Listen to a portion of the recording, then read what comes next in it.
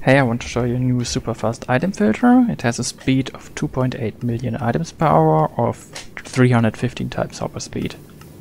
The hopper minecarts are pre-filled with one item in each slot and they can pick up 315 more items and we're sending one hopper minecart every 8 game ticks so that in total makes 315 times hopper speed. Hopper minecarts are pre-filled with 4 slot blockers. Then the first sorting item is inserted. Afterwards the first slot blocker is taken out, then the next sorting item is inserted and so on until all the slots are filled.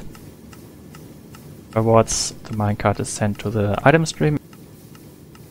Hopper minecarts are broken and separated from the sorting items using Inspector Talon's minecart breaker and transferred back at hopper speed into the dispenser. Therefore we can dispense one minecart every 8 game ticks.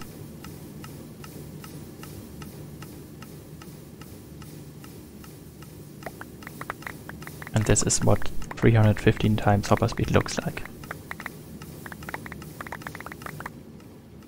Let's turn the system off.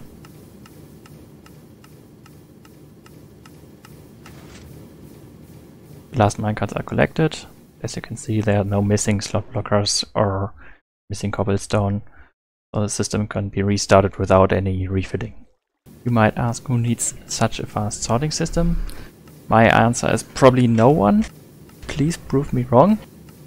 Even if you don't need such a fast sorting system, you can just make the clock at the bottom slower. So you could add even more observers to this clock here. Like this. And now it runs a bit slower. But it can also not collect all the items from the item stream anymore.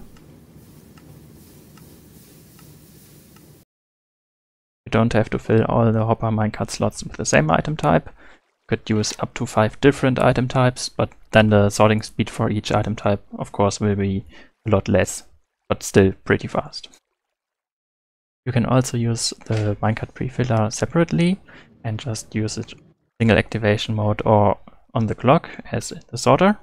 Maybe there's uh, some nice application for that. That's it. There's a world on it in the description. Bye bye.